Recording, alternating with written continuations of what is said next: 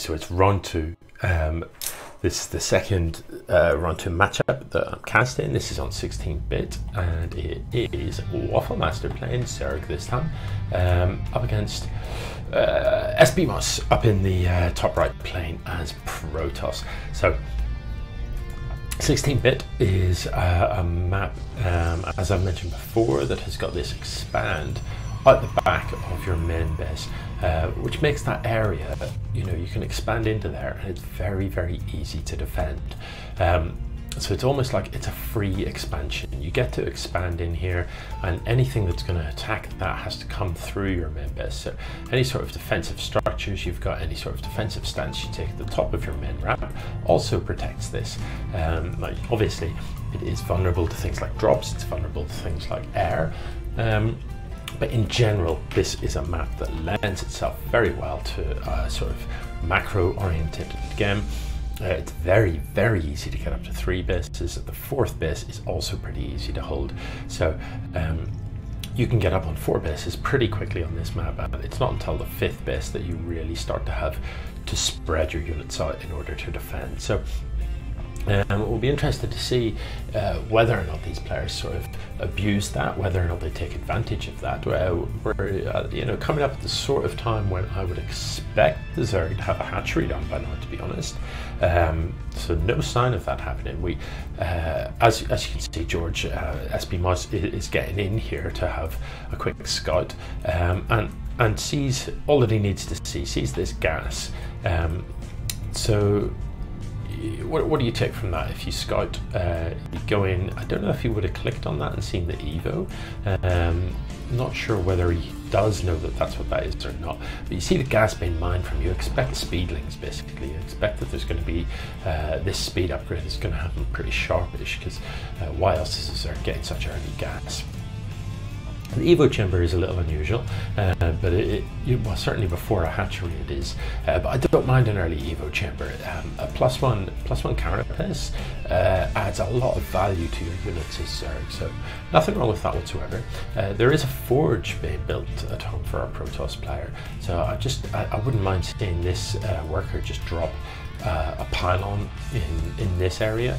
Um, if you know that your workers, your opponent has expanded here, uh, buildings, hatcheries, while they're being built, don't have very long range of vision. So see if I if I just look from Waffle Master's point of view, he can't see this area. That worker can actually sneak all the way around here, and you can build a cannon right here that is within range of this hatchery. And before the hatchery finishes up, it doesn't see the cannon.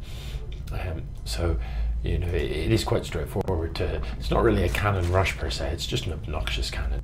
Uh, you can get a lot of value from just a, a well-placed cannon that's tucked in behind the minerals so that lings can't get a surround on it. Um, it can just be really awkward. Uh, if you if you want to be super sly, you build a pylon cannon and a pylon on the other side of it as well so that uh, the lings can't actually get to the cannon at, at, all, or if they can, only one ling at a time can get in there. Um, and that cannon can be a real problem. Anyway, with all that said, it, it isn't what's happening here. Um, in Protoss land, uh, there's a couple of zealots building. The cyber core is finished. No gateway research happening just yet. Uh, we have got this this worker. I think is just been transferred to gas. Was just chilling there for a second. So uh, we've got reasonable gas income now up for the Protoss player. This cannon is going to finish up and is going to push this Overlord away, but it isn't going to have to go far. It can just wander over here. There's there's no uh, stalker out just yet that can um, shoot this, but there's a reasonable number of zealots on the map. Uh, so SBMous presumably seeing the early gas, expecting speedlings, and here are the speedlings. Um, has has built plenty of zealots to see this off. Uh, but Waffle Master, of course, has scouted pretty effectively himself, has seen all that there is to see inside the Protoss main. So he knows that these zealots are right. So you know you don't want to be trying to get anything done with these lings uh, with with that many zealots on the map because um, they're just not going to achieve. Uh, zealots are, are very very good against lings because they're basically like um, really big lings that hit harder and take much more uh, tanking as well. Uh, but the lings do find their way into the mineral line, so a little bit careless to let these guys in. Um, uh, and do get a tiny amount of damage done. to There's certainly a couple of workers falling. Uh, if you're Waffle Master, what you wanted to do once the lings were in the mineral line is make sure you're right clicking these workers one at a time to make sure that you're killing workers because you, are not going to fare well against the zealots. There's no point trying to kill a zealot because you just use all the ling, you'll lose all the lings and you'll probably only do shield damage. Um, so you can see like three workers there uh, killed isn't too bad at this early stage of the game. Uh, oh, this roach, what's he doing there? Uh, get out of there, dude. Uh, are your mates going to come and help, or is this roach just going to take down a stalker for free? No, I don't think so. Um, does a roach? Does a roach take down a stalker? I don't think it does. I think a stalker takes out a roach. I'm not really sure. It's hard to tell from that because that wasn't a fair fight. Um, and yeah, I think a stalker takes out a roach though. It's going to be pretty close. Um, anyway, the Overlord uh, gets dispatched. Um, what I'm a little surprised by is that the Protoss here doesn't have an expand. Uh, we see four Gates up, um, you know, but uh, at this sort of, it's getting relatively lit for any sort of 4 Gate aggression. Um, so I'm a little bit curious as to why there isn't a Nexus being built. Uh, the Robo is in production and that is all good, but you know, look, work, worker production has stopped. Um, so if you stop worker production at one base, you're committing to a one base all in. Um, and if you are doing a one base all in, well, you need to have left your base by two minutes ago, really, don't you? Uh, so um, SBMous needs to be careful here because Waffle Master is, is up on uh, you know two hatches uh, complete and the third one being built, uh, you don't want to let the Zerg get carried away uh, with a ridiculous income. Now, with that said, you know, there's no drones being built, the main isn't saturated, and there's only three drones mining here. So actually the income tab uh, is, is not particularly unbalanced. It's, it's not that dissimilar, and, and the gas income is significantly better for the Protoss player. So uh, the gateway here on the other side of the map next to the pylon is uh, useful uh, because because because when you're warping in units uh, they warp in twice as fast if there is uh, a gateway being being powered by a warp gate rather being powered by the pylon. Um, if there isn't, they're much slower to warp in. So this is a kind of sign that we would expect there to be a lot of aggression coming. Surely these lemmings don't get in. They do. And again, that's a little bit careless to let them get in. You don't want these guys in your mineral line. You, you really don't. Um, and again, you know, a little bit more worker kills uh, I'd like to have seen the lings focused on the workers um, and literally just go for worker kills because that, that is definitely the way forward. So only two worker kills and all the lings killed. Um, but, but really, SBMous, you shouldn't have let them in. Uh, you know, you've got plenty of units here.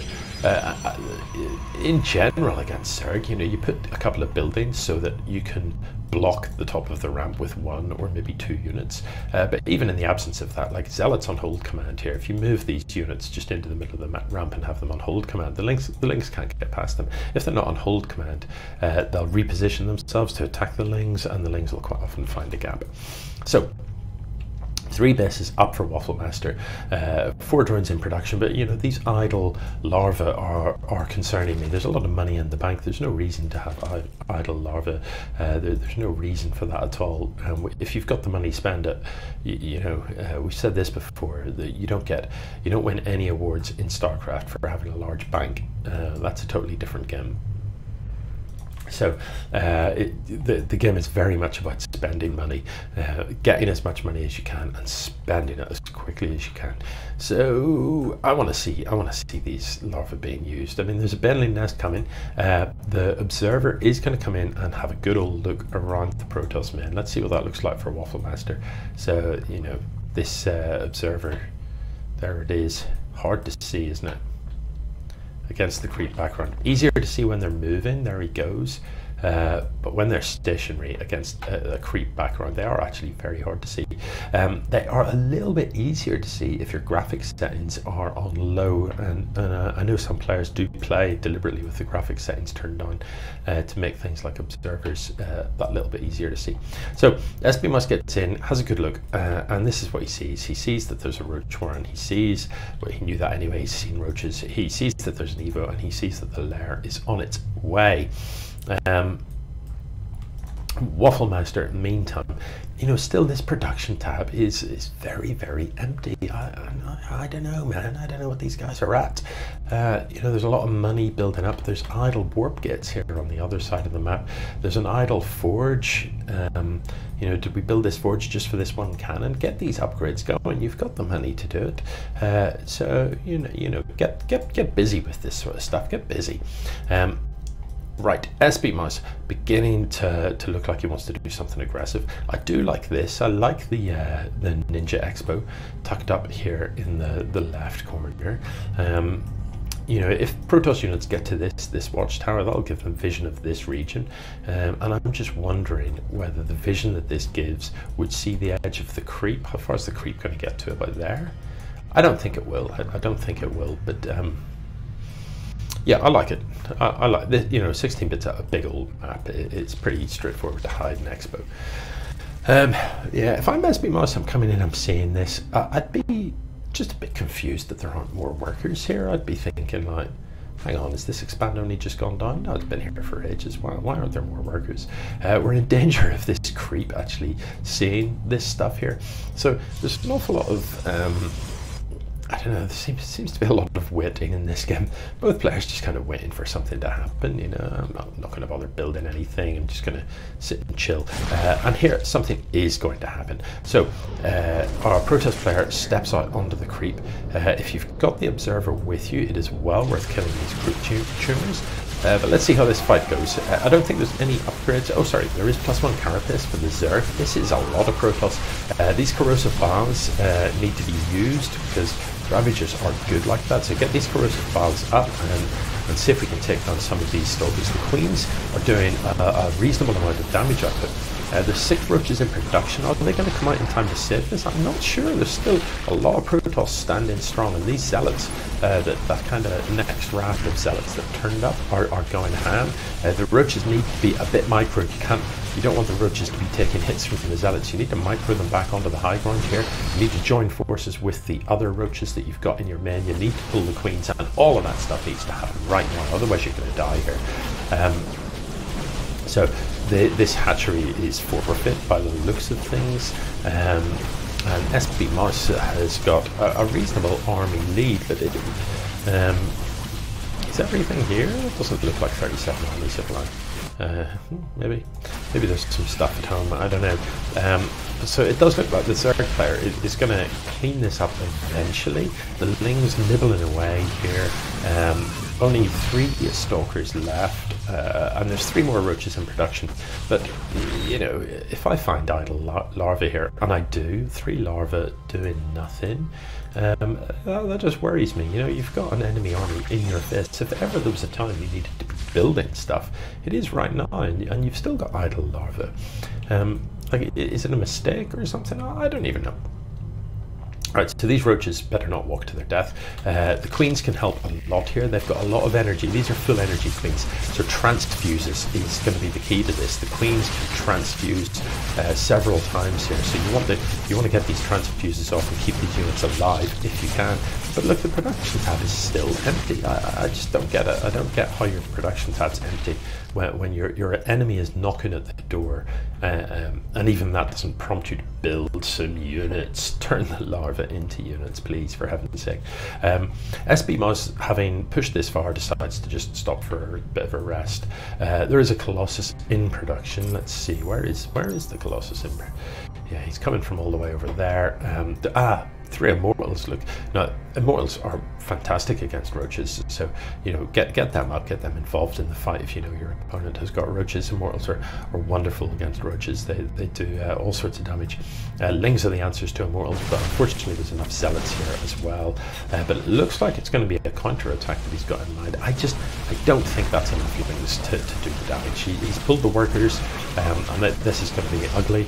Uh, these roaches are, are just going to take a in as they try and file past this this isn't this isn't good to watch, is it? You know, this is this is hurting my eyes. Um, these guys, I don't know what this fella's doing. Spine crawler. He's got nowhere to go. You know, you need creep to plant the spine crawler on, and there's no creep over here. Um, so there's Protoss all up in the Zerg main base. There, there's plenty of units at home. Look at the Colossus. He's just kind of absolutely end any sort of aggression from this Zerg counter-attack in, in, in, short order. So I fear that the army supply is woefully unbalanced at this stage. Um, I don't know whether Waffle Master is going to cling on here with this uh, sort of hidden base in the corner. He has built a new spawning pool, which would kind of suggest to me that yes, he does intend um, to not, not go gracefully, but rather to salt his way out of the game. Um, so the Benling nest uh, here has been up for some time, but I don't remember seeing any Benlings in this game. And Benlings are quite good against Zealots. Um, you know not bad to have a couple of Benlings in the mix because Lings themselves do extremely well against Stalkers but terribly against zealots. Uh, so what you want is a couple of Benlings up at the front to, to hit the zealots and soften them up, uh, and then you get the lings around, uh, and you can actually you can do quite a lot. Um, these lings that are running about the place, yeah, it hasn't gone too well now. Uh, oh, there's the GG. Okay, um, yeah, so a bit a bit slow really from both players. Um, both kind of taking their time to to to, to get up uh, to a point where they were ready to push out onto the map, um, and neither, you know, given that they they both took their time to to be aggressive, uh, neither of them really uh, powered up economically either. You know, SB Mouse never took the the sort of expand at the front here, um, and yeah, okay, the Zerg player did did have all three bases taken, but they were never saturated. There was never a substantial income.